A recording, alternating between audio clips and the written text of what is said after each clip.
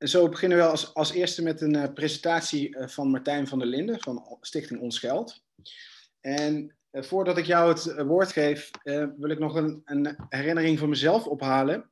toen ik in 2019 namelijk op een persconferentie van de Centrale Bank was, toen kreeg ik de gelegenheid om een vraag te stellen aan Mario Draghi, die toen de, de voorzitter was. en toen vroeg ik hem of, of de Europese Centrale Bank nadacht over centrale bankgeld, eh, CBDC's of over eh, depositobank, waar we zo vast ook even over te spreken eh, komen. Want daar waren we in Nederland toen al volop mee bezig en er was een heel rapport uh, uitgekomen van de Wetenschappelijke Raad voor het Regeringsbeleid. Maar toen um, zei Draghi nog steeds, nou daar zijn we eigenlijk niet, niet echt mee bezig, dat heeft niet onze interesse. En dat is, nou, dat is nog maar uh, twee jaar geleden. En sindsdien is er ontzettend veel uh, veranderd. Want we zijn nu volop aan het nadenken over central bank digital currencies. Er worden allerlei rapporten over geschreven. Er zijn speciale onderzoekscommissies ingesteld uh, bij de centrale bank uh, in, in Frankfurt, maar ook de, de, van de lidstaten. Dus er is de afgelopen twee jaar heel veel veranderd. Alleen daar ging een heel traject aan vooraf, waarin er eigenlijk bijna niet door de grote instituten werd nagedacht over centrale bankgeld en alternatieven. En toen waren er wel al allerlei uh, groepen die daarover nadachten en dat ook onder de aandacht brachten. En een van die groepen in Nederland was uh, Stichting Ons Geld. daar is Martijn voorzitter van. Dus Martijn, zou jij ons een beetje mee kunnen nemen door het verleden en ehm, ja, wat, wat, je, wat je met Stichting Ons Geld hebt gedaan en waar we nu staan? Zeker Thomas, dankjewel. Ik zal uh, proberen in 10 minuten een beetje de geschiedenis van het debat te schetsen. En daarna zal Teunis ook een inleiding verzorgen en daarna kunnen we met elkaar van gedachten wisselen over dit uh, interessante onderwerp. Ik ga proberen mijn scherm te delen. Want ik heb een mooie presentatie voorbereid. Jullie zien hem? Yes? Ja. Nou ja, dus de financiële crisis, dat is eigenlijk het begin van het nadenken over andere monetair financiële systemen. En wat er na de financiële crisis gebeurde, een aantal heterodoxe economen, dus economen die niet in de mainstream behoren, die hebben eigenlijk plannen ontwikkeld om het monetair financieel systeem structureel te hervormen. En die hebben uh, titels als full reserve banking, narrow banking, limited purpose banking, sovereign money. En ik denk als je al die voorstellen vergelijkt, dat er uh, nou ja, twee problemen proberen ze op te lossen. Het eerste is dat die fragiele bankdeposito's moeten worden vervangen door stabiel geld. En het tweede probleem is dat we zien nou ja, dat die banken die worden enerzijds heel erg beschermd door vangnetten zoals het depositogarantstelsel of toegang tot de centrale bank. En anderzijds heel erg beperkt door van allerlei regelgeving. En het idee is dus, ja, je zou eigenlijk meer marktwerking moeten hebben. En je zou die banken moeten liberaliseren. Dus dit was eigenlijk de, de voorstellen die werden gedaan aan de zijkant van het debat. En als je dan kijkt naar de, de, de, economen die meer in het midden zaten, dus de orthodoxe economen, die stelden eigenlijk de markt heeft gefaald. En wat er eigenlijk nodig is, zijn niet meer marktdiscipline voor banken, maar wat we juist nodig hebben, is meer uh, vangnetten en meer regels voor banken. En een goed voorbeeld daarvan is de uitbreiding van het depositogarantstelsel. Dus depositogaranten zijn verhoogd in het eurogebied van 40.000 naar 100.000 euro. En ik denk dat we de afgelopen tien jaar een gigantische toename van regelgeving voor banken hebben gezien. Je kunt je denk ik in toenemende mate afvragen of banken eigenlijk nog private ondernemingen zijn, want heel veel wat zij doen wordt eigenlijk bepaald door publieke instellingen, door publieke toezichthouders. Dus politie waren vooral bezig met het bestaande systeem stabiliseren, met meer vangnetten, meer regelgeving. Maar burgers, waaronder uh, ons geld, maar ook een aantal andere landen zijn initiatieven geweest. Die hebben geprobeerd, geprobeerd die structurele hervorming op de politieke agenda te zetten. En in Nederland, uh, ik ben zelf mede-initiatiefnemer initiatiefnemer van Burgerinitiatief Ons Geld geweest in 2015. En wij stellen dus voor het systeem structureel te hervormen. Nou ja, dan gaat dus enerzijds ging het over publieke geldschepping. Dus het beëindigen van private geldschepping door banken. Uh, ook het opnieuw reguleren van banken, maar ook wij stelden ook voor de ontwikkeling van digitaal contant geld. En dat eigenlijk de observatie dat het bankgeld is de afgelopen decennia gedigitaliseerd, maar het contante geld, dus de munten en biljetten, die zijn, uh, ja, die zijn contant gebleven, zijn fysiek gebleven. Maar wat er nodig is in de digitale tijdperk is eigenlijk een digitale vorm van dat geld. Dat initiatief is bij de Wereld Door gelanceerd door George van Houts. Uh, en vrijwel meteen werden er meer dan 40.000 handtekeningen opgehaald. En dat betekent dat het Nederlandse parlement, de Tweede Kamer, dit voorstel moest bespreken. En tegelijkertijd waren er een aantal ondernemers van Stichting Full Reserve. Die dachten, nou ja, dat, dat burgerinitiatief ons geld, dat is op zich best goed, maar dat is best een, een, een groot voorstel. Een grote wijziging en politici die houden daar meestal niet zo van. En we zouden het eigenlijk ook met iets heel praktisch kunnen doen. En zij hebben een businessplan ontwikkeld voor een private depositobank. En wat is een depositobank? Een depositobank is een bank die geen leningen verstrekt, maar al het geld voor 100% dekt met centrale bankreserves. Dus het is eigenlijk een trucje om ja, burgers en, eh, en, en, bedrijven indirect toegang te geven tot de centrale bankbalans. En beide voorstellen zijn toen in Nederland in de Tweede Kamer in 2016 besproken en twee moties zijn toen aangenomen. De eerste motie ging over de, de depositobank en alle leden van de Tweede Kamer stemden voor een motie om een dergelijke bank te realiseren. Omdat mensen de keuze zouden moeten hebben om hun geld veilig te bewaren. En de tweede motie die werd aangenomen is een motie om de Wetenschappelijke Raad voor het Regeringsbeleid onderzoek te laten doen naar het geldstelsel naar het huidige geldstelsel, naar geldscheppingswinst, maar ook naar alternatieven. Dus dit gebeurde in 2016. En in de jaren daarna, de WRR is toen aan de slag gegaan, die heeft het uh, geldsysteem onderzocht. Uh, het was best wel een complex onderwerp, dus het duurde lang. Het onderzoek heeft bijna drie jaar geduurd in totaal. En die initiatiefnemers van die private depositobank, die gingen naar de DNB toe. En de DNB zei, nou, je moet bij het ministerie van Financiën zijn. Het ministerie van Financiën wees door naar de AFM. Ze werden weer naar de DNB gestuurd. En de DNB zei, ah, dan moet je toch bij de politiek zijn. En ze werden eigenlijk van het kastje naar de muur gestuurd. Dus het bleek binnen de bestaande wetten niet mogelijk om een vergunning te verlenen. En de politie waren niet bereid de wet te veranderen. Dus dat voorstel bleef hangen. En in de tussentijd kwamen eigenlijk twee varianten kwamen op. De eerste is Central Bank Digital Currency en de tweede is een publieke depositobank. En ik denk dat een van de belangrijkste papers die geschreven over central bank digital currencies is een paper van de Bank of England van Bartier en Kumhoff in, in, in, uit 2016. En zij stelden eigenlijk dat de introductie van een dergelijke munt van allerlei macro-economische voordelen kan hebben. Dus het kan leiden tot lagere schuldniveaus, tot uh, een, hoge, hoge BBP-groei. Dus hij keek het echt op, op, op systeemniveau, benaderde zij het probleem. En de publieke depositobank werd voorgesteld door Tweede Kamerlid Mahir Alkaya van de SP. Hij zag dat die private depositobank niet van de grond kwam en uh, zei toen, nou ja, als het die private ondernemers niet lukt, dan is het misschien aan de politiek zelf om er een te implementeren. Dus dat de overheid zelf een publieke depositobank opricht waar mensen 100% veilig kunnen sparen en betalen. Dus dit gebeurde eind 2018. Toen in jaar, januari 2019 toen publiceerde de WRR haar rapport Geld en Schuld, de publieke rol van banken. In ontvangst genomen door Hoekstra, minister, minister van Financiën. En ik denk in het kort, dus de probleemanalyse van de WRR die is best wel uh, scherp. En ze zeggen dat er best wel fundamentele problemen zijn.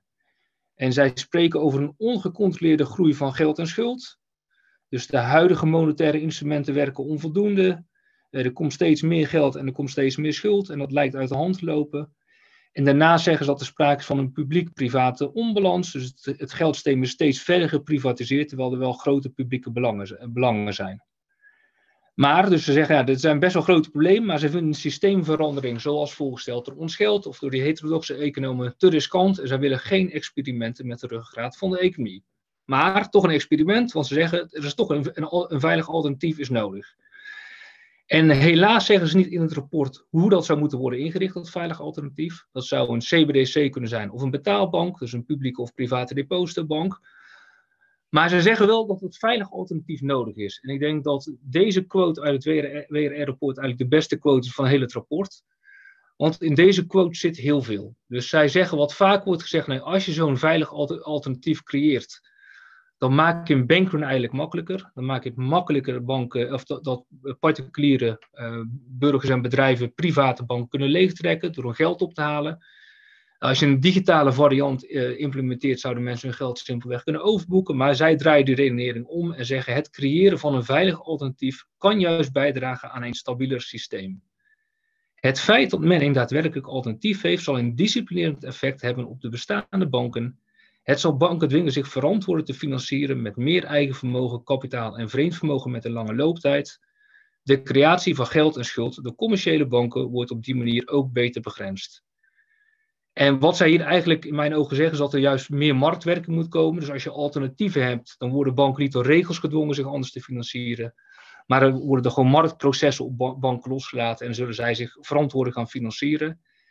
En zij zeggen dus ook dat het op macro-economisch niveau een effect kan hebben dat geld- en schuldcreatie worden begrensd op deze manier.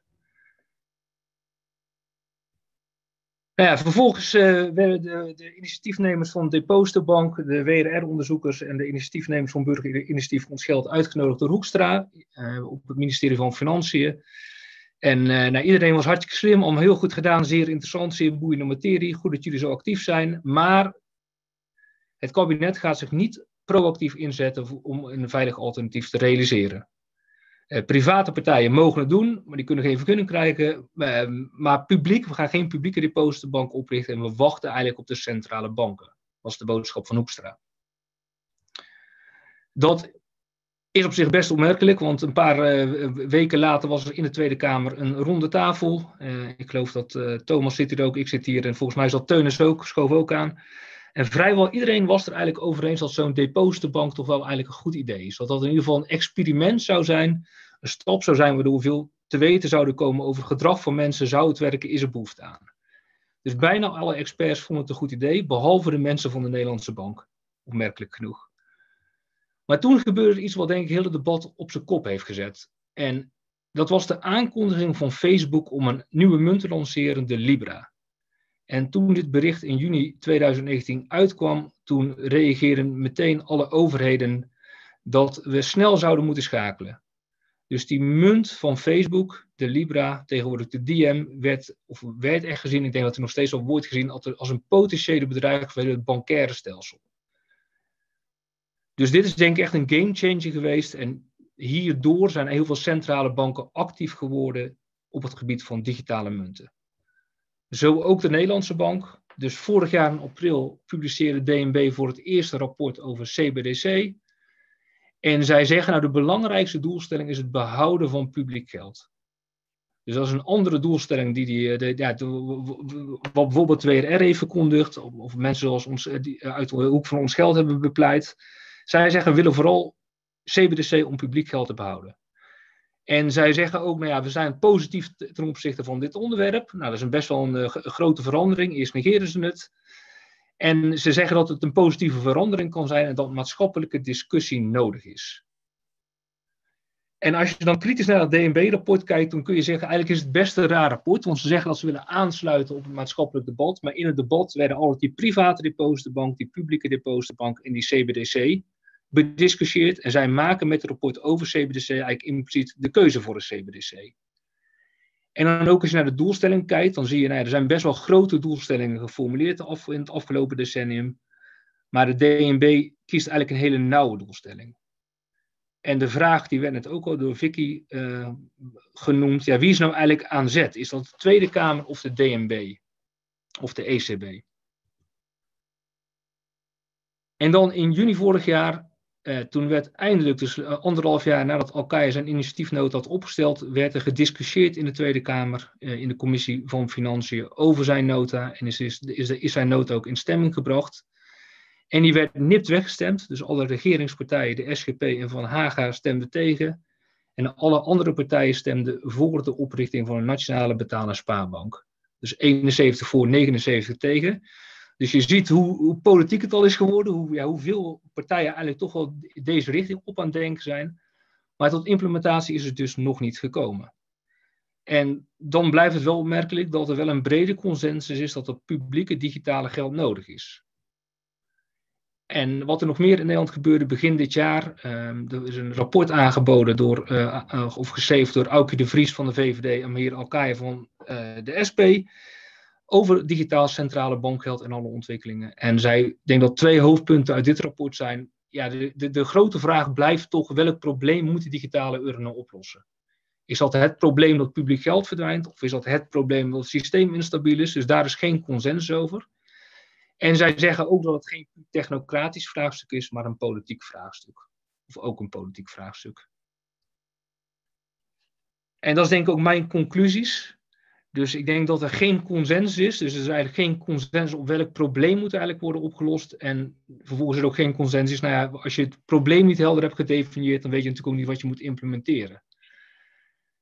En als je naar die CBDC heel specifiek kijkt, dan kun je zeggen: het kan een stap zijn naar een ander systeem, echt een fundamentele hervorming, maar het kan ook ingericht worden om bestaande systemen overeind te houden, om het te bestendigen. En ik denk dus zeker dat het een politiek vraagstuk is, want het betreft niet alleen iets monetairs, maar het betreft de marktordening, de ordening van het systeem. En dat gaat dus ver voorbij waar centrale banken verantwoordelijk voor zijn. Dus ik denk dat we hier dadelijk uh, verder over van gedachten kunnen wisselen. Goed, dankjewel uh, Martijn. Uh, ik, heb, ik heb al wel een paar vragen, maar wellicht uh, dat, we, dat we gewoon het beste meteen door kunnen gaan met Teunis, want die zal uh, aanhaken op, op wat jij hebt verteld en, en zijn eigen verhaal ook houden. Um, dus uh, en dan kunnen we daarna echt de vragen um, gaan stellen en met elkaar daarover discussiëren. Dus typ ook vooral je vragen alvast in de Q&A als je die hebt. En dan gaan we die na de, presentatie van Teunis bespreken. Teunis, jij bent al lang met het onderwerp ook bezig. Uh, we kennen elkaar eigenlijk ook vooral van die, uh, alle discussies over geld en vooral over uh, ja, nu central bank digital currencies. Dus aan jou het woord. Dankjewel, Thomas. ja, ik zal ook even mijn ehm, scherm delen. Even kijken. Daar gaat hij dan als het goed is. Zichtbaar.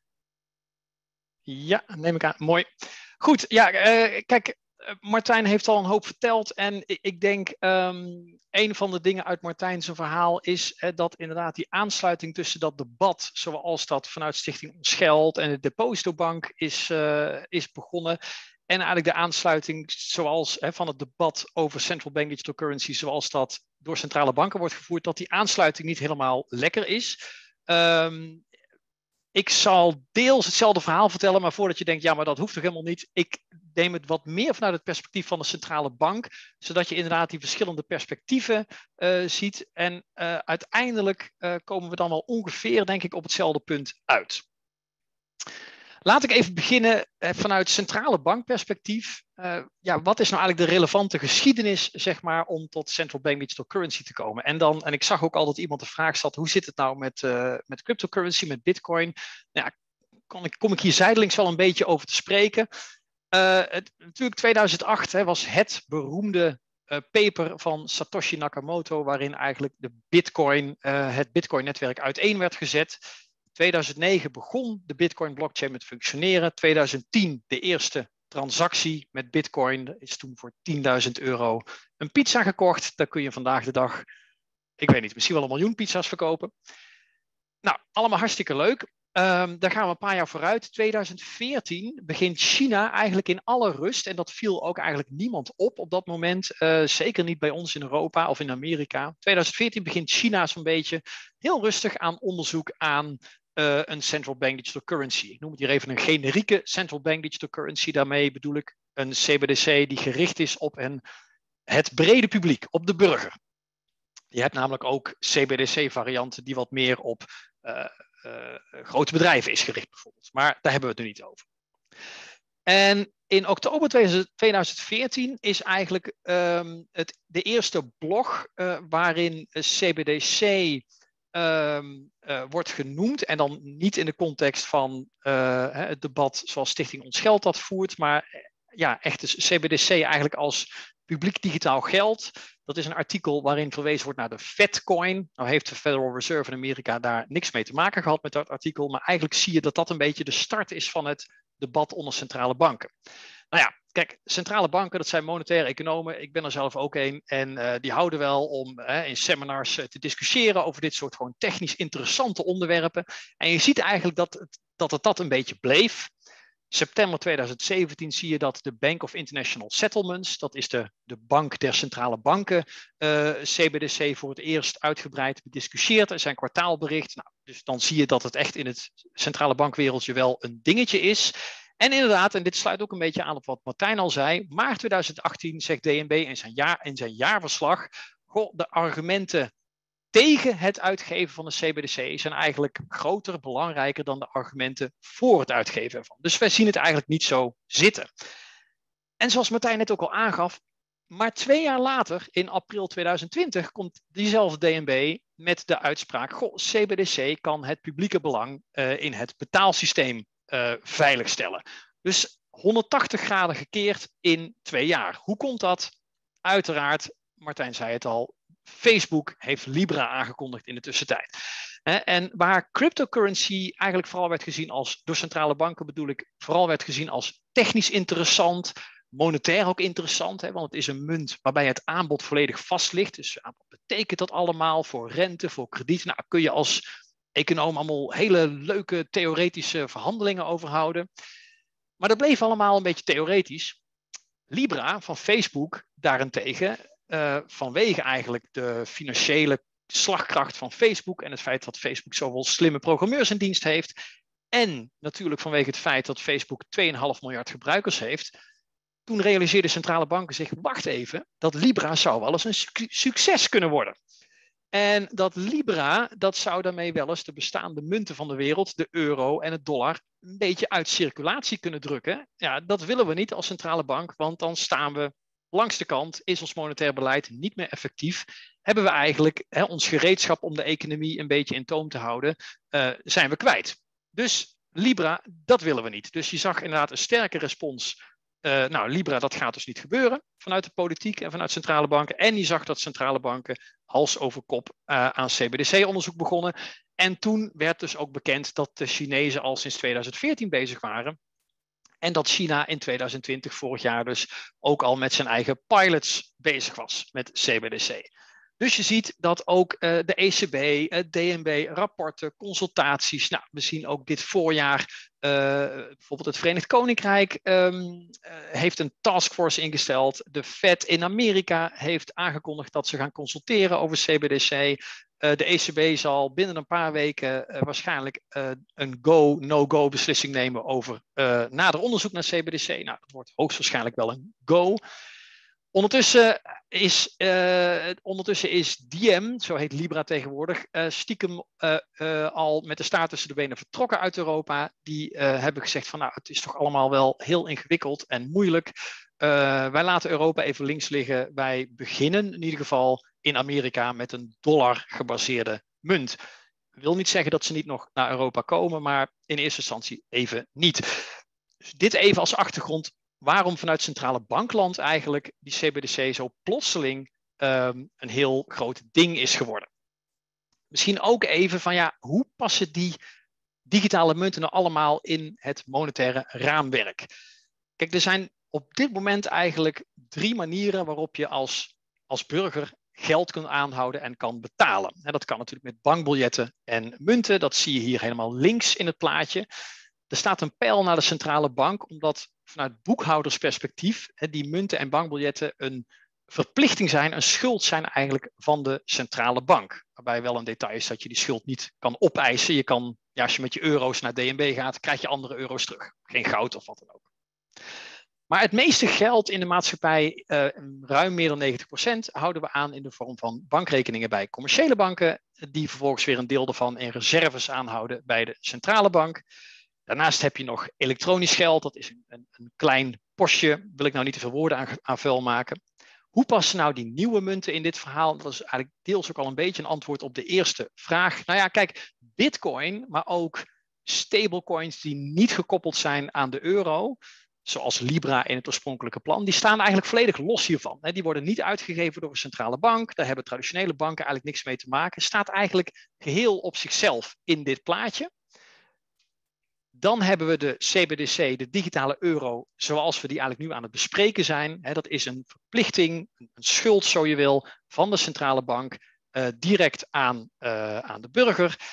waarbij waarschijnlijk wel de banken en andere partijen de distributie voor een rekening gaan nemen, zoals het er nu naar uitziet.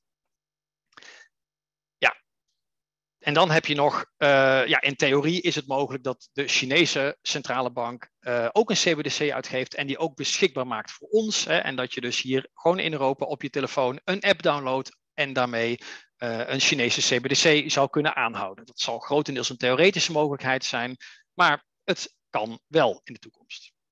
Dus dit is eigenlijk een beetje het plaatje om te laten zien hoe die verschillende munten nou passen in het systeem. Waarom hè, zijn die centrale banken nou zo gaan kijken naar een eigen digitale munt? Nou, de belangrijkste, denk ik, is wat centrale banken dan noemen hè, monetaire soevereiniteit. Hè, oftewel, wij willen niet dat Libra, schuine streek Diem of een Chinese CBDC in Europa de boel overnemen. In Europa speelt ook mee dat we sowieso wel afhankelijk zijn van buitenlandse big tech platforms. Um, ja, en, en voor de Chinezen is eigenlijk ook gewoon meer toezicht en meer controle op het financiële stelsel en betalingen ook nog wel een argument. CBDC als alternatief voor cash, hè, publiek geld in een digitale wereld, dat kwam ook al langs, wordt ook genoemd als, um, als, als motivatie. Ook de internationale rol van de eigen munt. Als je kijkt naar internationale transacties voor handel in de financiële sector, dan is de dollar dominant. En de Amerikanen die zijn niet bang om die macht eigenlijk die ze daar hebben te gebruiken om bepaalde dingen gedaan te krijgen internationaal of juist te voorkomen. Bijvoorbeeld met sanctiewetgeving. Um, en het is voor landen zoals Europa, maar ook China heel moeilijk om daar dan omheen te werken, om allerlei redenen. En ja, een CBDC zou een bijdrage kunnen leveren aan ja, toch een hapje te nemen uit die dominantie van die dollar. Nou, backup, hè, zou je nou moet je nou misschien een digitale backup infrastructuur opbouwen naast de bestaande infrastructuur die we hebben, wordt ook wel genoemd. Financiële inclusie, hè, dus een bredere toegankelijkheid van betalingen, wordt ook wel genoemd als doelstelling. Uh, en als laatste ook wel programmeerbaar geld. Smart contracts wordt dat dan uh, uh, genoemd. Um, hè, waarmee je bijvoorbeeld automatische betalingen kan doen. nou, dat, dat, is ook iets wat, wat eigenlijk afkomstig is uit de cryptocurrency-wereld, de blockchain-wereld. En ja, wat je op een nieuwe betalingsinfrastructuur ook zou kunnen inbouwen. Nou, moet je niet denken dat als dat een CBDC, als we naar een CBDC gaan, dat, dat je dan volledig uh, helemaal niets meer te maken hebt met private partijen. Het is niet het een of het ander, het ene uiterste of het andere uiterste. Daar zitten gradaties tussen. En dat komt eigenlijk omdat de uitgifte van de munt is maar één aspect van de vele aspecten, de vele manieren waarop wij met munten te maken hebben. Om even met cash te beginnen. Het onderliggende betaalobject, wil ik het even noemen, zijn biljetten en munten. Gegarandeerd uitgegeven door de centrale bank. Nou, hoe betaal je daarmee? Nou, met een modern woord peer-to-peer, -peer, dus gewoon met de hand. Uh, Oké, je portemonnee heb je zelf, maar je, je haalt het geld uit de muur. Niet bij de centrale bank, maar bij commerciële banken. Ja, en data en privacy, nou ja, cash is anoniem, behalve bij grote transacties, want dan zijn bedrijven en banken wettelijk verplicht om daar melding van te maken. Dus dat, die, die anonimiteit, die is er maar tot op zekere hoogte. Hoe zit dat nou bij de bankrekening die we nu hebben? Nou ja, de, de, garantie van de waarde, nou, die zit eigenlijk vanuit de bank. En daar zit het, toezicht, uh, het hele toezichtsraamwerk overheen. En uiteindelijk een depositogarantiestelsel wat gefinancierd wordt door de gezamenlijke banken. Hoe kan je betalen met je betaalrekening? Nou, op heel veel verschillende manieren. Je kan een overschrijving doen, je kan een machtiging afgeven, je hebt iDeal, uh, je hebt je, je, je bankpas, je hebt je mobiel. Heel veel verschillende manieren. Hoe manage je je rekening? Nou, dat doe je met, je met de app van je bank. Het kan tegenwoordig ook een app van een ander bedrijf zijn uh, onder Europese wetgeving. En hoe zit het nou met data en privacy? Nou ja, hè, je moet je identificeren voordat je een bankrekening kan openen. En banken die monitoren alle transacties om te kijken of er niks geks gebeurt.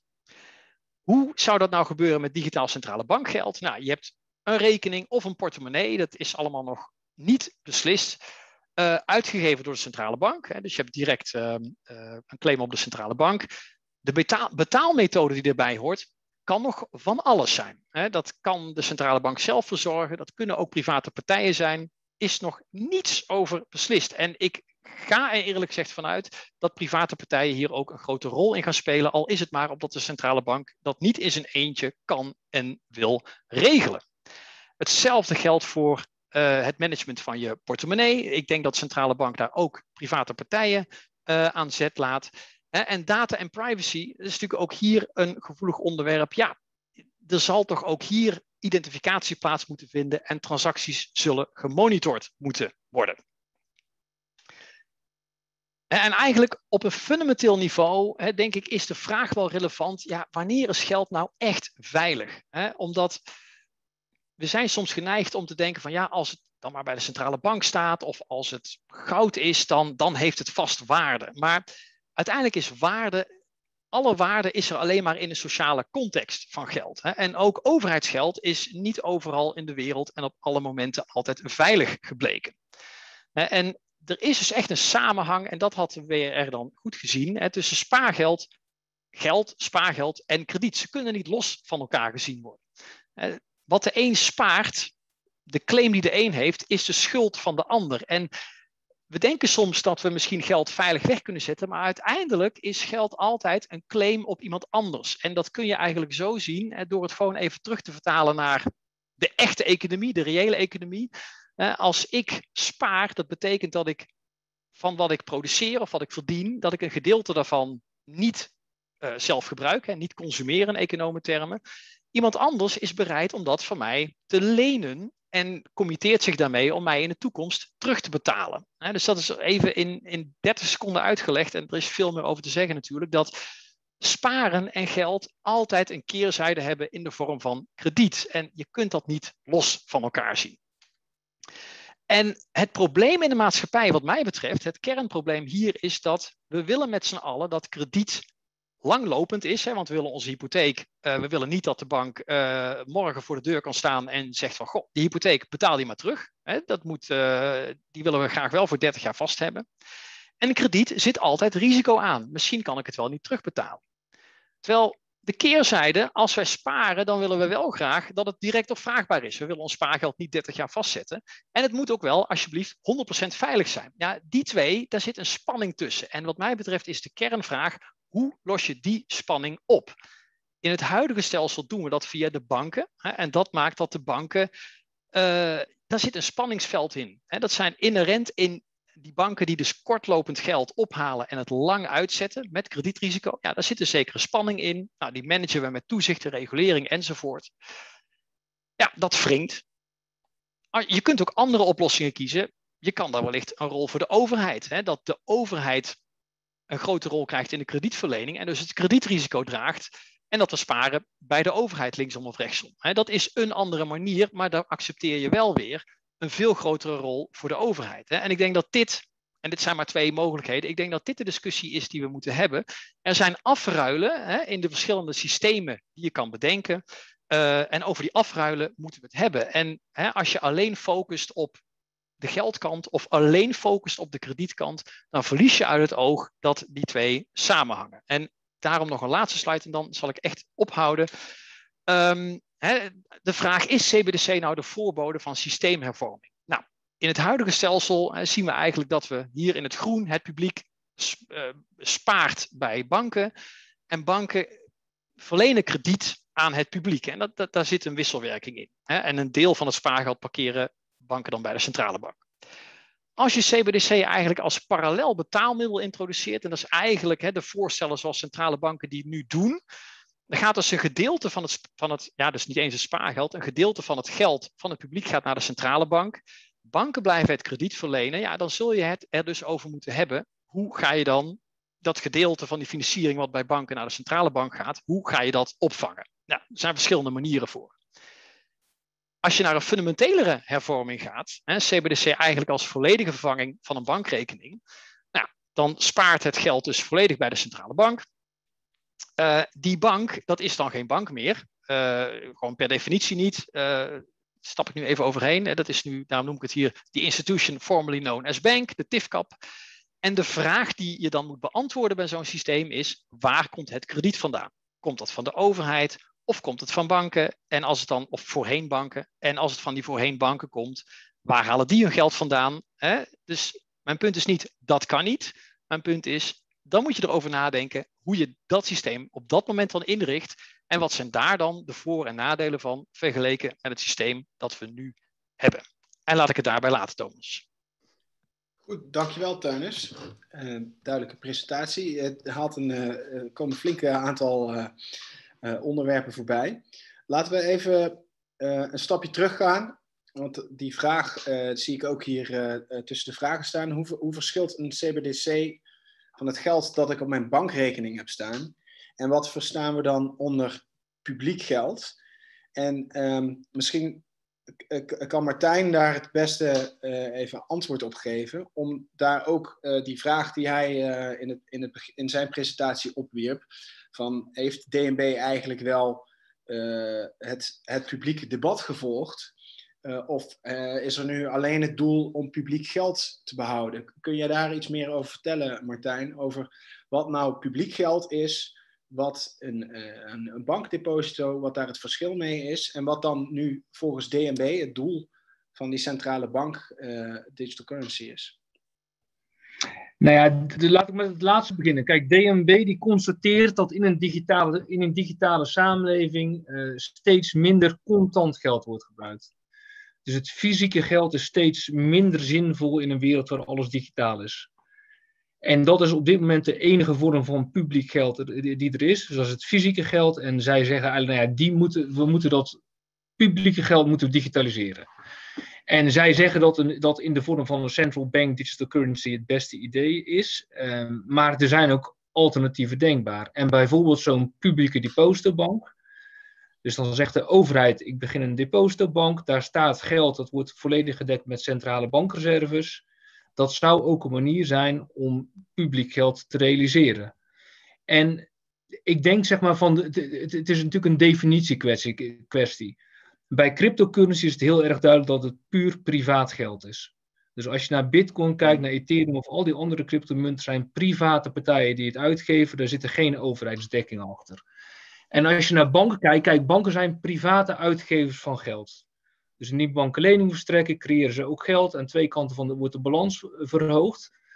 Uh, maar banken die hebben wel toegang tot van allerlei uh, vangnetten. Of er zijn van allerlei garanties. Ze hebben toegang tot de centrale bank. Uh, depositogarantstelsel is enerzijds dus een, is eigenlijk een verplicht, een verplicht stelsel. En je ziet dus dat dat private geld, er zijn van allerlei publieke regels voor en publieke vangnetten voor. En je zou kunnen zeggen dat is eigenlijk privaat geld wat publiek gedekt is, of semi-privaat semi geld. En ja, wat het grote verschil is tussen echt privaat geld en het bankgeld, is wat banken beloven, is het, uh, de bankdepots altijd één op één in om te wisselen voor het fysieke geld, voor het echte publieke geld. Dus er zit geen wisselkoers in. En dat maakt het vaak heel conceptueel mo moeilijk voor mensen. Dus die vormen van geld zijn altijd één op één voor elkaar inwisselbaar. Een bankdeposito bij de ING is precies evenveel waard dan een bankdeposito bij de Rabobank. Dus al die vormen van geld, uh, die zijn um, die, die, ja, die, die, die, leveren pariteit. Er zit geen wisselkoers tussen. En dat maakt denk ik dat het voor vrij veel mensen verwarrend is. Uh, het lijkt wel erg op elkaar, maar er, zit, er zitten wel degelijk verschillen tussen. En zo'n uh, central bank digital currency, nou ja, dat zou een nieuwe vorm van digitaal geld zijn, maar die zou dus ook één op één inwisselbaar moeten zijn tegen die andere vormen van geld. Hm.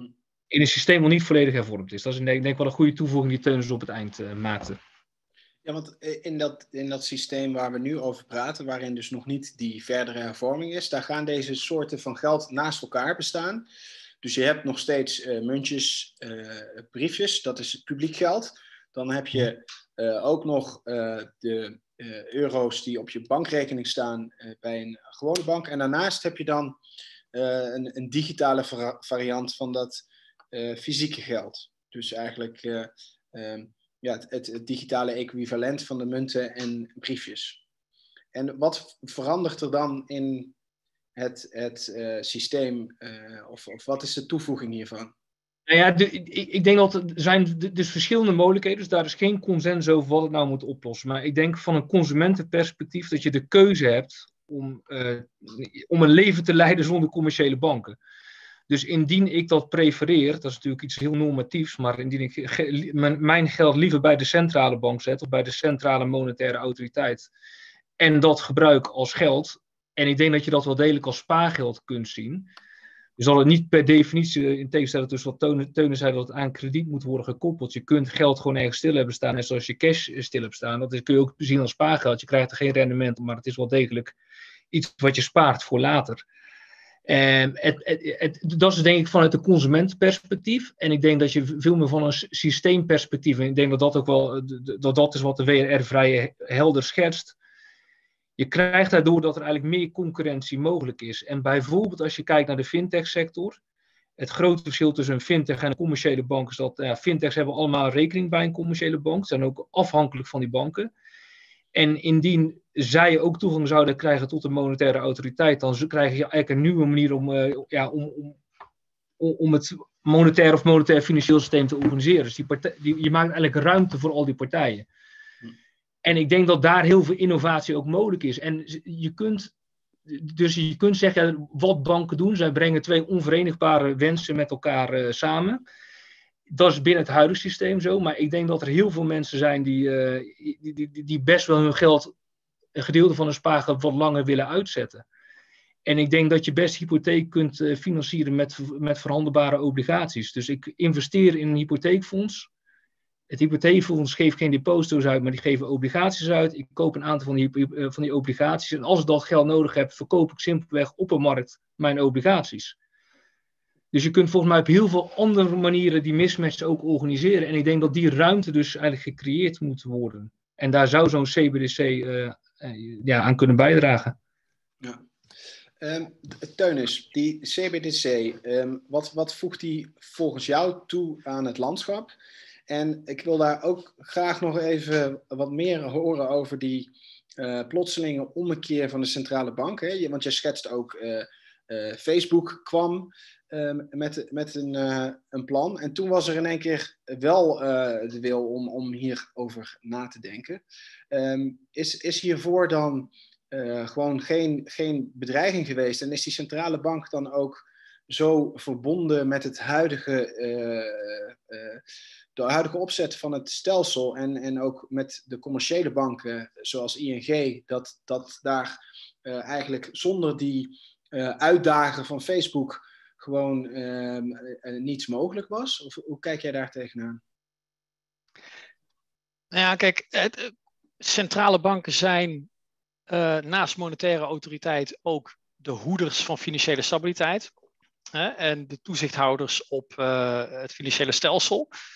Um, hè, dus centrale banken hebben eigenlijk van nature niet zo'n trek in fundamentele stelselwijzigingen. En daar kun je van alles van vinden, maar ik denk het positieve eraan is van ja,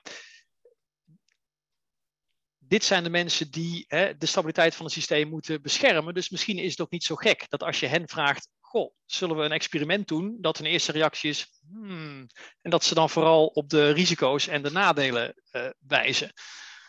Um, hè, dus ze zitten wat dat betreft uh, hè, wat, wat conservatief in de wedstrijd. En ik denk inderdaad, kijk, toen Libra kwam, ja, dat was uh, inderdaad een serieuze bedreiging. Hè. Dat is echt gezien, uh, Libra en de Chinezen eigenlijk, daarvan werd echt gezien. de context in Europa is, is er echt een van wacht even, we, zijn, we doen onze sociale interactie op Amerikaanse platforms. We zien de meeste digitale innovatie uit China komen.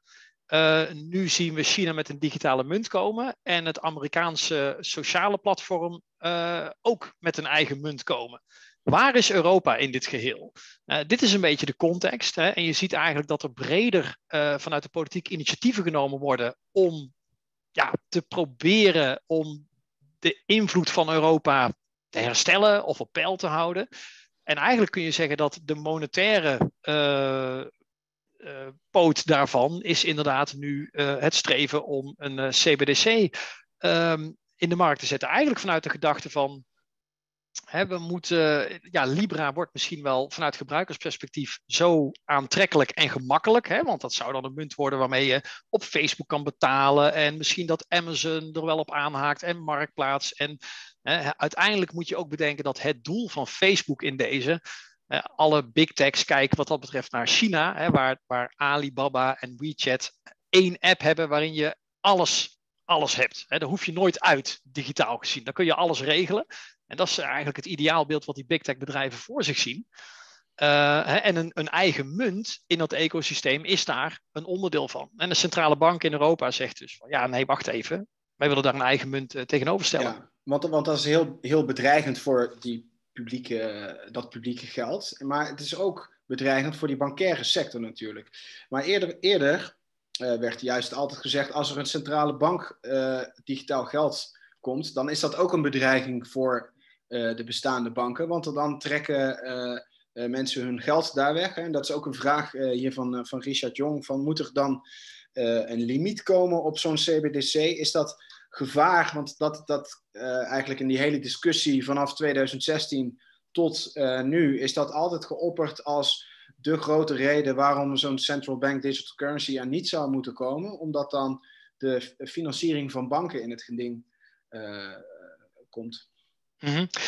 Nou ja, het is een feit dat er is een zekere hoeveelheid geld in de vorm van betaalrekeningen en spaarrekeningen. Uh, en als CBDC als alternatief, alternatief, beschikbaar komt, zal een deel van de mensen, in ieder geval een deel van hun geld, daar naartoe brengen. Um, ja, dus als je verder niets doet, dan ontstaat er een gat op de balans van banken en dan moet er dus iets uh, gebeuren. Hè? En de WRR zegt dan van, dat is prima, want dan gaan die banken minder krediet uh, verstrekken dat kun je vinden, maar dat heeft ook consequenties. Daar moet je wel even over nadenken. Want betekent dat dan dat we geen hypotheek, hè, dat iemand geen hypotheek meer kan krijgen? Bijvoorbeeld. Hè, of dat een MKB-bedrijf geen krediet meer kan krijgen. Nou ja, dus daar moet je over nadenken. Een ander alternatief is dat de centrale bank uh, deels banken gaat financieren. Is ook een mogelijkheid. Moet je ook doordenken. Waar inderdaad ook aan gedacht wordt, is inderdaad van, nou weet je, als we nou een limiet zetten op hoeveel uh, iedere uh, iedere burger in CBDC kan aanhouden, dan houden we de impact op die banken in ieder geval beperkt. Uh, ja, wat zou de limiet dan moeten zijn? Ja, dat, dat, dat, dat weet niemand. Um, hè, de Nederlandse bank heeft vorig jaar geopperd, maar dat was echt eigenlijk een ballonnetje van, goh, waarom doen we niet 3000 euro? Um, dan zou je nou, de gemiddelde Nederlander uh, gewoon een maand mee kunnen doen. Nou ja, dat is een ballonnetje. Maar ja, ik heb er ook geen goed antwoord op. Ja. Maar de reden van die limiet is deze. Ja. ja, laten we zo nog even terugkomen op die, kredietverlening. Ja, ik wil ook even, even, Oh ja, je, uh, Martijn, zeg, uh, zeg maar wat. Uh... Ja, ik denk inderdaad dat die limiet is denk ik echt een cruciaal um, element van die CBDC voorstellen. En ik denk zeker dus wat Teunus denk ik terecht zei. Er is zeker, je hebt enerzijds liquiditeitsbuffers kun je realiseren met zo'n CBDC of met het publieke digitale geld. En anderzijds is het ook gewoon nodig dat mensen risico nemen, dat er wordt geïnvesteerd. En ik denk dat wat een aantrekkelijk alternatief zou kunnen zijn, is dat je een, de, de limiet geleidelijk ophoogt en tegelijkertijd geleidelijk het depositogarantiestelsel afbouwt. En het is in die zin, je kunt het ook als alternatief zien voor bestaande vangnetten. Eh, waardoor je eigenlijk een veel meer een marktgedreven financieel, financieel systeem krijgt. Hm. En er zijn verschillende voorstellen gedaan. En ik denk inderdaad, wat de DNB die heeft maar iets geroepen. Maar ik denk juist spelen met de limiet, die langzaam ophogen, dat dat uh, heel uh, fundamenteel is. Omdat het ook eigenlijk de verschillende functies van geld zou je daarmee kunnen, uh, ja, kunnen managen. Dus je wil ook niet dat mensen het alleen maar gebruiken als opvoedmiddel. Ze moeten het ook laten circuleren, dat geld.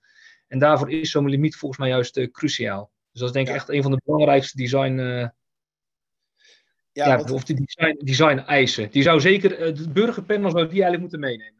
Ja, laten we, laten we hier dan ook even Niels Verduin uh, in de discussie uh, betrekken. Want die heeft de, de, vraag die bovenaan staat. Dus misschien kunnen we hem even het woord geven, want je hebt daar een vraag over.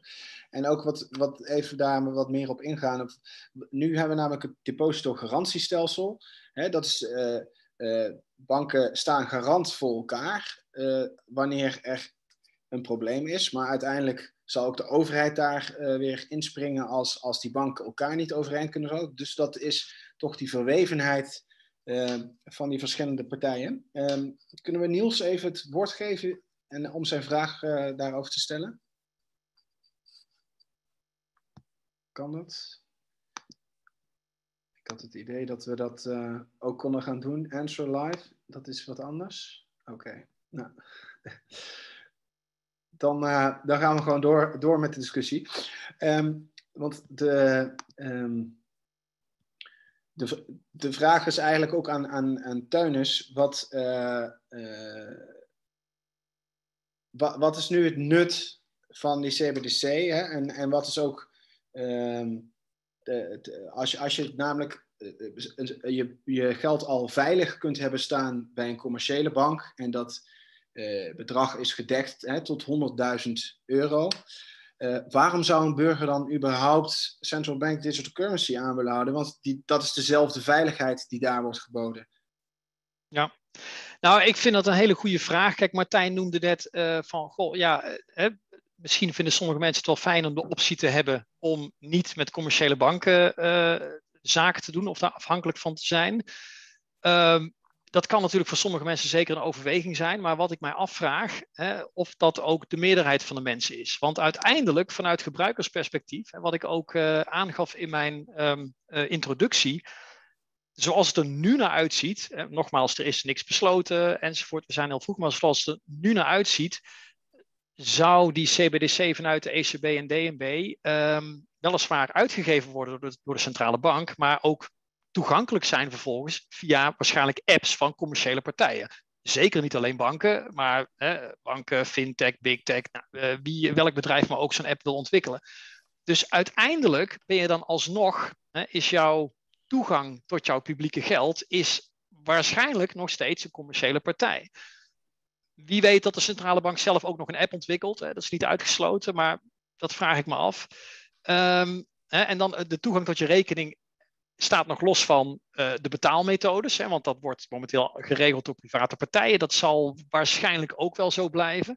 Hè, dus het is niet zo dat je met een CBDC plotseling uh, compleet om private partijen heen uh, kan werken. Persoonlijk vind ik dat ook niet nodig, maar dat is natuurlijk aan ieder voor zich om dat te bepalen. En dan doemt inderdaad wel de vraag op van ja, wat is dan vanuit gebruikersperspectief de toegevoegde waarde? Hè? Het zal niet zijn het hogere gebruikersgemak waarschijnlijk. Ik denk zeker in Nederland hè, is het betalingsverkeer efficiënt, uh, snel, uh, goedkoop voor particulieren. Het wordt moeilijk voor een CBDC om dat uh, hè, nog te verbeteren.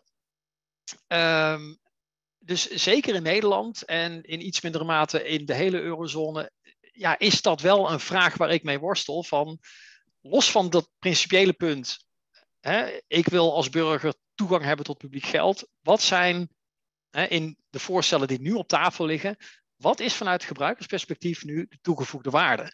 En dat is zeker belangrijk, omdat natuurlijk als we dit met z'n allen gaan doen, daar ook een flink kostenplaatje aan hangt om dit hele, deze hele infrastructuur te gaan bouwen. dus het is niet van, ach weet je wat, we doen dit gewoon even en als dan niks blijkt, nou, dan, uh, dan toch niet. En als, als uh, dankzij die central bank digital currency al die andere partijen kunnen toetreden die daar uh, ja, een, een, wallet aanbieden, dat er competitie komt. Um, wat, wat is dan, waarom heeft, hebben banken dan nog die, die uitzonderlijke positie nodig met, met zo'n depositogarantiestelsel? Waarom kunnen banken dan niet gewoon ook een fintech bedrijf worden? Wat is dan daar uh, nog steeds de crux dat we dat depositogarantiestelsel nodig hebben? Dat vraag je mij, hè? Ja. Nou ja, kijk, ja. op dit moment zijn uh, banktegoeden en spaarrekeningen uh, zijn voor banken een heel belangrijke bron van financiering. En op het moment dat, dat je CBDC onbeperkt beschikbaar zou maken, dus ook eigenlijk als spaarmiddel, hè, want nu wordt het door centrale banken vooral als betaalmiddel gezien en wordt eigenlijk expliciet, expliciet gezegd, we willen het niet als spaarmiddel inzetten. Als je het onbeperkt beschikbaar maakt en zeker daarnaast ook nog het DGS afschaft, dan bestaat natuurlijk de reële mogelijkheid dat veel mensen uh, in crisistijd, maar misschien sowieso wel, uh, grote delen van hun geld van banken naar de centrale bank verschuiven. En dat roept dan de acute vraag op, ja, oké, hoe gaan banken dan hun krediet financieren? en dat hoef je niet zielig te vinden voor banken, maar dat is wat mij betreft gewoon vanuit de economie en de financiële sector dan een vraag, hoe gaan die banken gefinancierd worden? Kijk, op lange termijn kun je inderdaad aan allerlei oplossingen denken. Zoals ook Martijn zei, van nou, wie weet kunnen we wel um, mensen verleiden om inderdaad in hypotheekobligaties te gaan uh, investeren. En ik moet zeggen, ik heb ergens best sympathie voor zo'n idee, om, juist omdat, he, zoals ik ook zei, sparen en krediet samenhangen. En in zo'n opzet maak je duidelijker dat er risico zit aan, uh, aan sparen. Ik bedoel, we leven nu eigenlijk het bankwezen een beetje in de illusie dat sparen altijd risicovrij is. Ja, maar dat, dat is het niet. Er zijn risico's. Dus in die zin vind ik dat, hè, sta ik niet onsympathiek tegenover zo'n stelselwijziging. Alleen, uh, ja, dat, dat zul je voorzichtig moeten doen. Je zult moeten kijken, wat is de, zijn mensen daartoe inderdaad bereid? Is ook een Nederlander met de, de mediane Nederlander, ik nou, het anders zeggen, hè, uh, de helft van de Nederlanders heeft minder dan 14.000 euro spaargeld. Wil je die mensen nou echt in obligaties laten beleggen die een bepaald risico hebben? Ja, dat zijn allemaal maatschappelijke vragen uh, waar je echt goed over na moet denken. Ja. Martijn, als je, als dat probleem van die kredietverlening, als je, zie jij dat ook op dezelfde manier als steun, dus dat er uh, daar een probleem ontstaat? Of, of denk je dat die twee toch beter naast elkaar uh, kunnen bestaan, zonder dat dat nu door het afschaffen van het huidige uh, depositogarantiestelsel en uh, het, het, stelsel eigenlijk wat we nu hebben, dat, dat, dat die kredietverlening echt een probleem gaat worden. Nou, ik denk in de chat werd het ook al gezegd dat stapsgewijs is wel het, het, het, belangrijke woord. Hè. Dus je moet het niet, natuurlijk niet in één keer implementeren. Uh, dus dat transitiepad, hoe je dat zou kunnen doen, dat is, dat is, een, dat is een moeilijk vraagstuk, want het heeft met veel variabelen te maken. Maar ik denk zeker dat als je een publieke digitale munt hebt uh, en die banken langzaam maar zeker een aantal van die vangnetten, maar ook de regelgeving versimpelen, dat je dan gewoon veel meer concurrentie krijgt. En ik denk dat best wel veel mensen, kijk, op zich is het ook heel raar om je geld op een bank te zetten, waar je zeker tegenwoordig geen rente krijgt, maar wel risico neemt.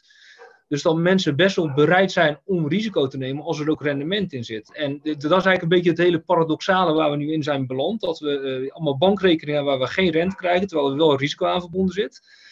Uh, en ik denk dat dat ook laat zien dat het systeem ook, ja, ook wel tegen grenzen aanloopt.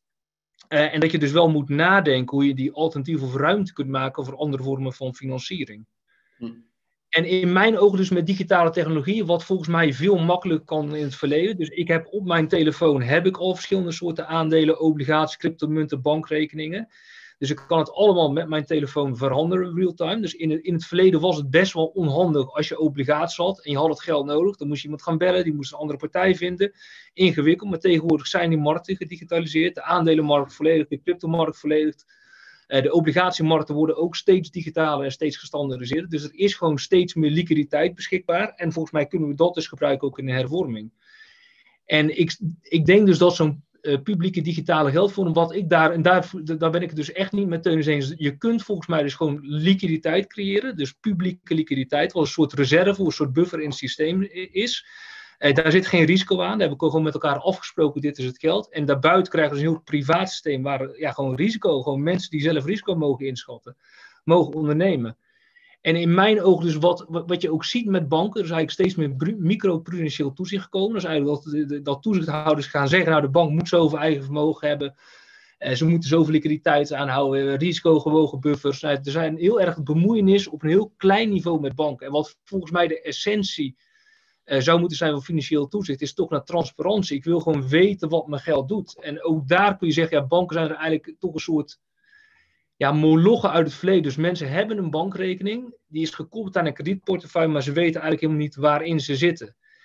En ik denk dat je met van allerlei digitale technologieën en kleinere financiële partijen mensen veel meer kunt binden aan hun geld. En dat dat ook met van allerlei andere ja, waardes van, milieuvraagstukken tot ecologische vraagstukken tot sociale vraagstukken, dat je die daarmee zeg maar inzichtelijk kunt maken. En, dus ik denk dat dat de weg zal zijn. En, ja, en, en de, de vraag zeg maar, de, je ziet dat die centrale banken inderdaad vooral bezig zijn met het systeem bestendigen. En ik denk dus wel dat het, echt politiek moet worden gemaakt en dat die politici veel beter beeld zouden moeten hebben. Ja, waar, waar moet dit systeem heen in een digitale tijdperk?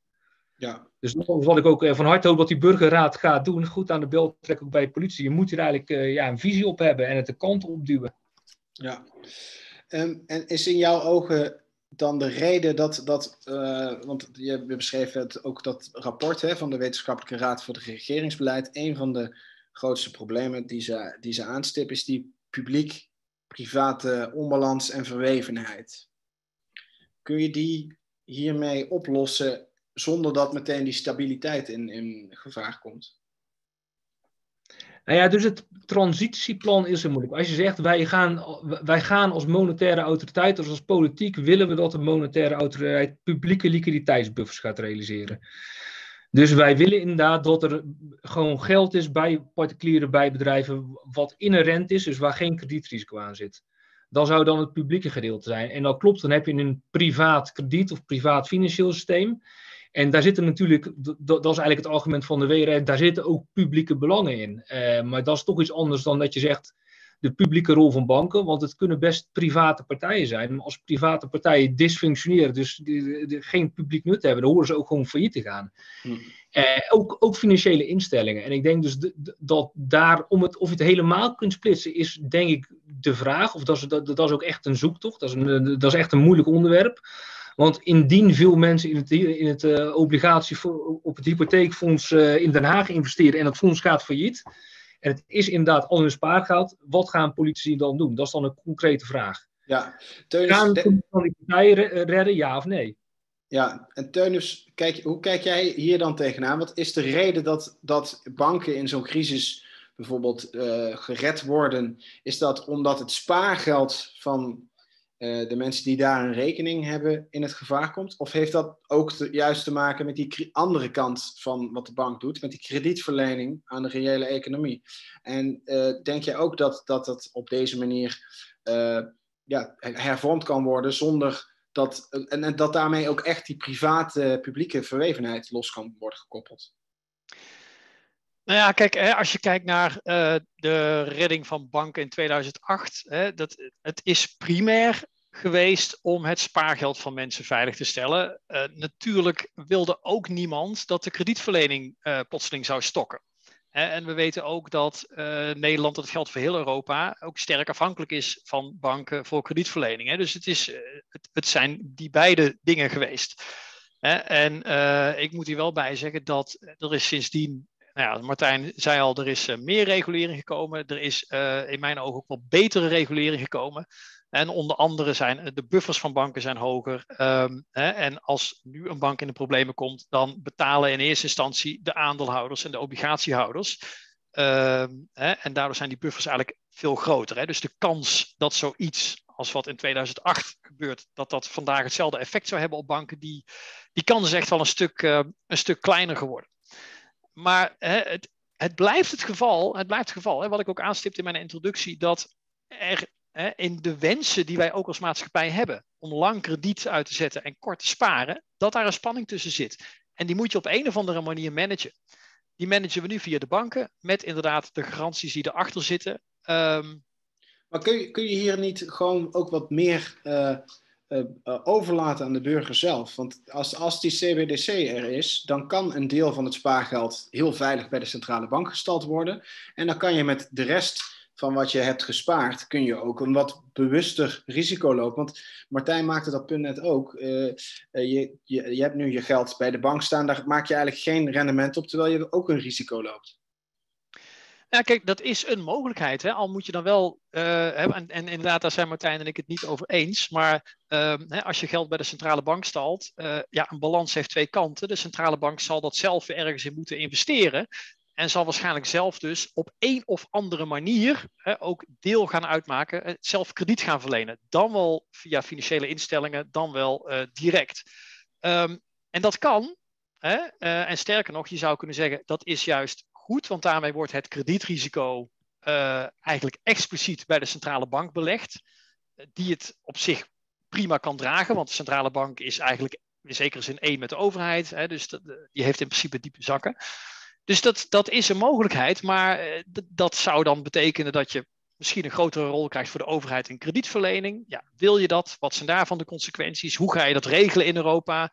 Gaan we dan discussies krijgen over uh, het kwotumkrediet dat Italië krijgt uh, versus Nederland? Gaan we daar dan discussies over krijgen?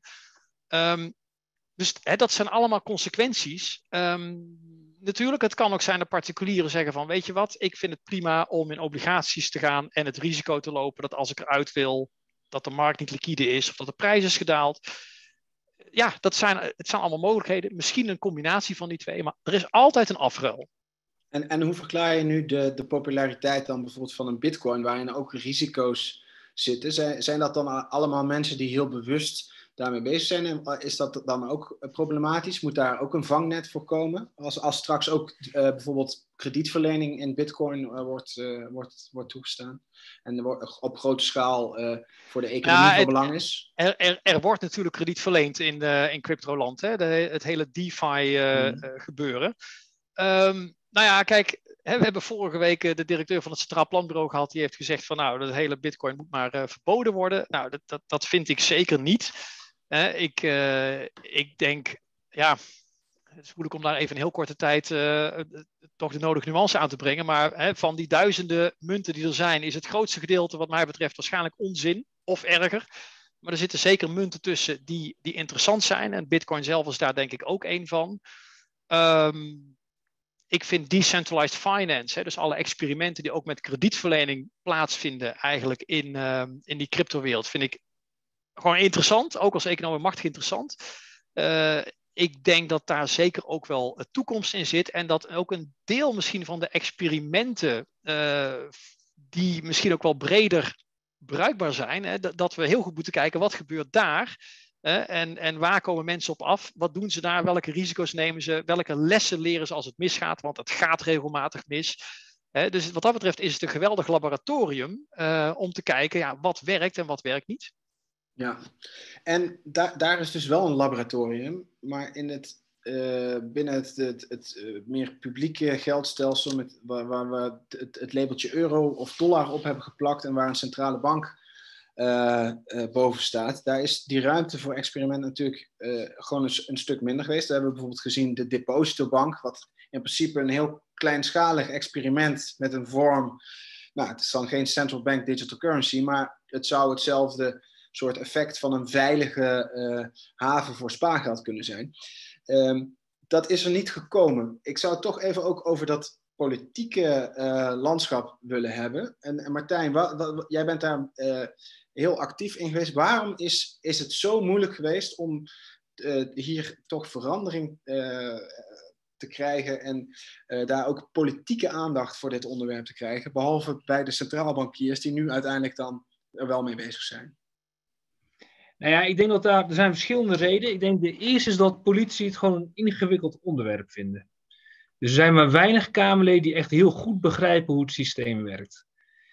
En een tweede is, dat is een soort ideologisch iets, dat uh, nou ja, politici denken dat centrale banken onafhankelijk zijn en dat het dus ook aan onafhankelijke centrale banken is om hier iets over te zeggen. Terwijl wat ons geldt, of wat ik ook heel vaak heb bepleit, ja, het is juist wat die centrale bank moet doen, of hoe het systeem eruit moet zien, wat de monetaire autoriteit moet doen, dat is een politiek vraagstuk. Maar je ziet dat dus politie heel terughoudend zijn om daar iets van te vinden, om daar eigenlijk richting aan te geven. En dat eigenlijk de woord zeggen, ja, we laten het aan de markt over. Dus er zijn wel ja, schaduwbankiers, denk ik een heel voorbeeld. Je mag best met, met private vormen van geld experimenteren. Je mag best nieuwe cryptomunten uh, implementeren. Maar we geven heel weinig vanuit het publieke domein of publieke, vanuit de politieke richting aan het systeem. En ja, en een ander is denk ik, dus politie vinden het moeilijk, maar burgers vinden het ook moeilijk. Dus het is geen sexy onderwerp, dus politie kunnen niet makkelijk mee scoren. Het is, zijn vaak ingewikkelde uh, discussies. En uh, ja, dat, dat is waarom het denk ik heel erg blijft hangen. Um, en gewoon niet goed lukt. En, wat is, wat is... en misschien een laatste is daar toch de, de, gewoon macht van banken van bestaande instellingen. Uh, ja, waar, waar, waaruit toch heel de tijd het verhaal komt dat, ja, dat het bestaande systeem zo slecht niet is en het valt wel mee.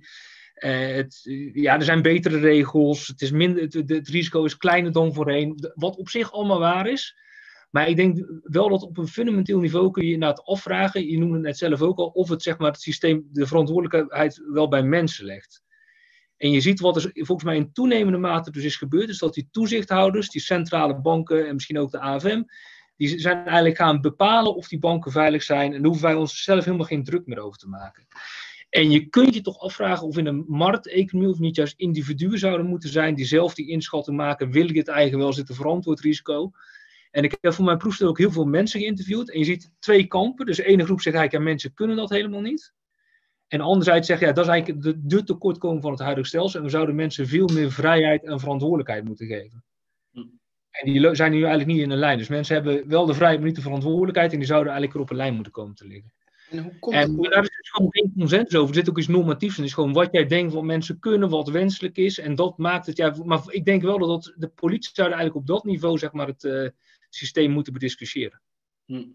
En wat is de rol uh, van de centrale bank in dat geheel? Want kijk, dat die banken het niet zo erg vinden dat ze geen competitie uh, hebben, dat, dat begrijp ik vanuit het, uh, het, het bankaire streven om gewoon een, een winstgevend bedrijf te zijn. Um, dat de, alle, alle grote bedrijven willen het liefst een monopolie of een, in ieder geval een oligopolie. Uh, ja, nee, zeker. Maar ik denk dat Teunis dit net al zei. Kijk, centrale banken zijn verantwoordelijk voor de stabiliteit van het huidige stelsel. En als in het huidige stelsel commerciële banken de dominante partijen zijn, ja, dan zijn ze verantwoordelijk voor de stabiliteit van die partijen. Uh, en dan is het ook logisch dat die vangnetten en dat die regels er zijn. Dus op, zeg maar binnen het huidige kader is het logisch. Maar als je over dat kader heen gaat denken, dan kun je daar dus vraagtekens bij zetten. En ook daar zie je dus wat ik zelf heel fascinerend vind als centrale bankiers. Dus ook die heb ik vrij veel geïnterviewd.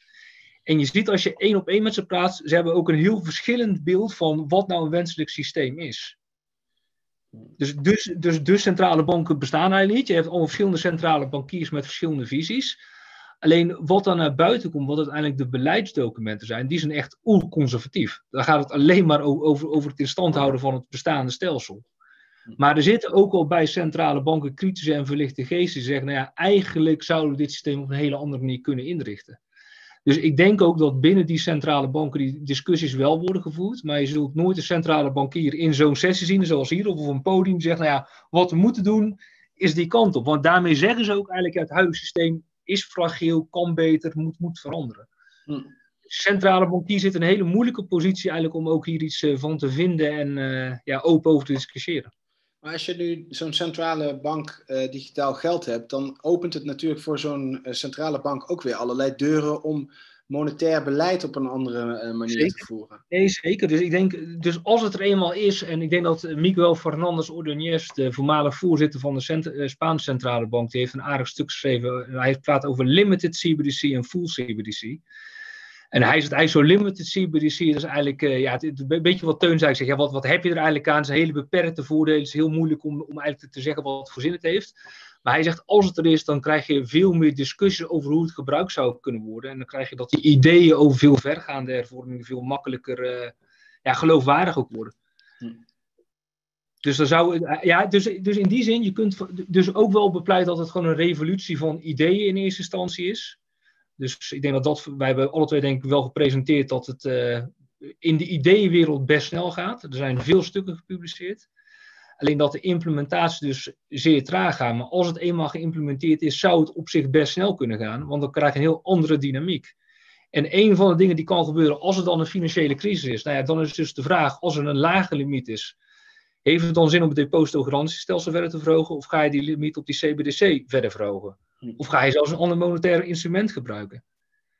Dus het opent wel, denk ik, dus als het eenmaal is, hele andere discussies. En uh, daar zullen centrale bankiers nu nooit op papier zetten. Maar daar denken ze zeker over na. Of zeker een aantal, die zijn er uh, uh, zeer ver ook in met hun gedachten. Ja. Teunis, jij, jij werkt voor een bank. Um, hoe, hoe is jouw blik op de, um, de visie binnen banken op, op de komst van zo'n central bank digital currency? Is dat echt een, wordt dat gezien als een bedreiging of ergens ook als een uh, welkome innovatie? Want het, het kan natuurlijk ook uh, ja, die concurrentie en de, marktwerking uh, weer openen. En daar zit natuurlijk ook wel uh, ja, ook weer positieve kanten aan. Want dan kan je weer, wel weer, een, zonder dat er maatschappelijke ophef komt, een goede bonus uitkeren. Nou, ik weet niet of dat dan de motivatie is. Maar kijk, um, ja, wat, wat Martijn zei, hè, als je verschillende centraal bankiers vraagt, uh, dan krijg je verschillende antwoorden. En ja, banken zijn ook grote bedrijven met veel meningen daarin. dus het hangt er ook maar helemaal van af wie je het vraagt, welk antwoord je krijgt. waarbij natuurlijk voor mensen meespeelt wat, wat hun eigen rol is binnen de bank en wat een CBDC daarvoor zou betekenen. Um, dus ja, natuurlijk zien mensen bedreigingen, maar kijk, we zitten sowieso in een tijdgevricht dat banken onder druk staan. Uh, vanuit, uh, vanuit toezicht, maar zeker ook vanuit de concurrentie met big tech bedrijven. lage negatieve rentes zijn geen lolletje voor klanten, maar ook niet voor banken zelf.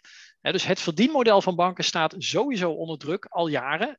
en dat lijkt erop dat dat voorlopig niet beter wordt. CBDC zou eigenlijk die dynamiek kunnen versterken.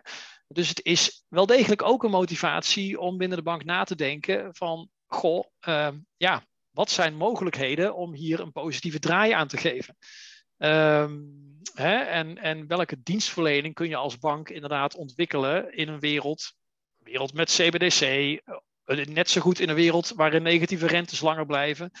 dus ja, het, het heeft uh, beide aspecten. Het, uh, het prikkelt ook de innovatiegeest, zeker. Oké, dus je ziet ook ruimte uh, voor beter. En hoe kijk je aan tegen de, uh, de kansen voor ander monetair beleid? Want dat is voor banken dan ook erg interessant. Nou ja, dat is natuurlijk een hele gevoelige discussie. Want dat is natuurlijk juist waar veel mensen ook bang voor zijn. Hè? Veel mensen zullen zeggen, ja, wacht even. Gaat de centrale bank dan straks ook eh, gewoon negatieve rente op mijn centrale bankrekening heffen? Of uh, je ziet mensen enthousiast praten over uh, functies. Nou, ik, ik zag gisteren nog een interview met de baas van de Bank of England. Die zei: Ja, ouders kunnen dan het geld van hun kind zo programmeren dat het niet aan snoep uitgegeven kan worden. Nou, dat klinkt nog onschuldig. Maar je kunt je voorstellen, ja, dat zijn leuke dingen, maar daar kun je ook hele veel minder leuke uh, manieren, uh, veel minder leuke draaien aan geven. dus ik denk wel, en dat aspect hebben we inderdaad nog niet besproken, dus wat dat betreft wel goed om dat te doen, dat die digitale mogelijkheden en allerlei nieuwe digitale dingen, gadgets die je kan toevoegen, eh, zeker als je een CBDC lanceert, betekent mogelijk ook nieuwe macht voor de centrale bank, eh, voor de overheid, eh, voor ouders ten opzichte van hun kinderen. En ook dat zijn natuurlijk vragen waar je vervolgens over na moet denken. Ja, wat willen we hier nou eigenlijk? Wie mag mijn data zien? wie gaat controleren dat ik geen foute dingen doe? En hoe houden we weer controle op de controleurs? Nou, dat zijn allemaal vragen die deels natuurlijk in het huidige stelsel al relevant zijn, maar in de CBDC-wereld, waarin je die infrastructuur van de grond af aan opbouwt met alle digitale mogelijkheden van vandaag de dag, ja, moeten we daar ook heel goed over nadenken. Ja, want daar is, daar is natuurlijk de invulling van uh, dat ontwerp van die CBDC. Hè? Je kan, uh, kun je straks bijvoorbeeld nog peer-to-peer -peer, dan geld overmaken zonder dat daar een een centrale macht uh, meekijkt. Want dat kan met contant geld wel.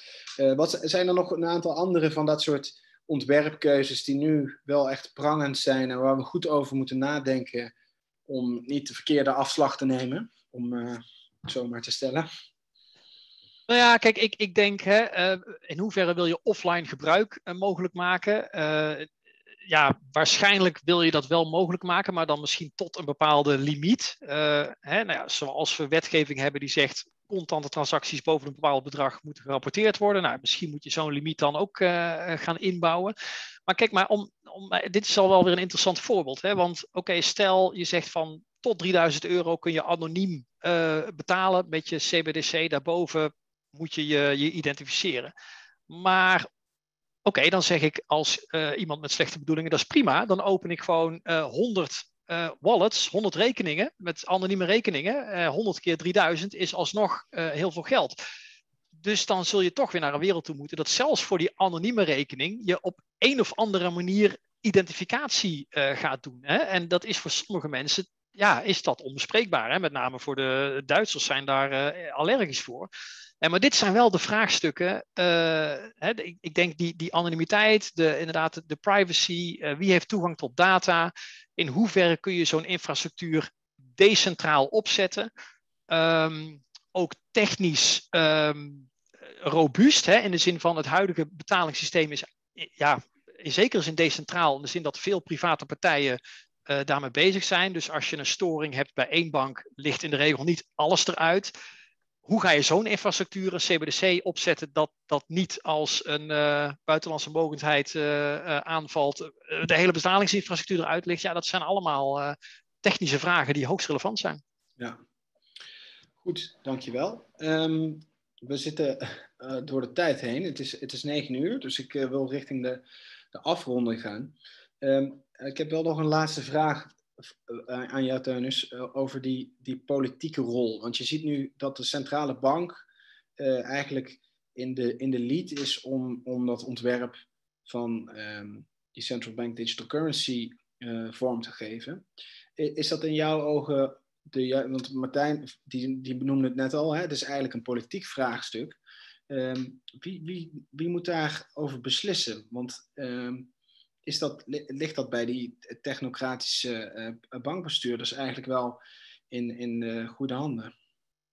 Nou, laat ik daar een diplomatiek antwoord op geven. Ik denk, je hebt ze alle twee nodig. Hè? In de zin van, uh, voor de uitwerking heb je uiteindelijk ook de, ja, laf hè. Uh, voor de uitwerking heb je uiteindelijk ook de expertise van de centrale bank nodig. Zowel monetair, maar ook qua betalingsverkeer, qua techniek. maar ik denk uiteindelijk gewoon voor de op hoog niveau de vormgeving, hè, maar ook de afwegingen, zoals we net een mhm. aantal bespraken, uh, privacy, uh, anonimiteit, bepaalde limieten.